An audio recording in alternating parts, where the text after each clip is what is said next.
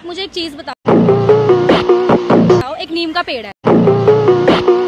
Okay उस पेड़ के नीचे एक लड़का और एक लड़की बैठे हैं। ठीक है। अब उस पेड़ के पास आम गिरा है। हाँ। ठीक है? अब वो आम कौन उठाएगा? लड़का उठाएगा या लड़की उठाएगी? आ, उस नीम के पेड़ पे आम के आपके बाप ने लगाया था?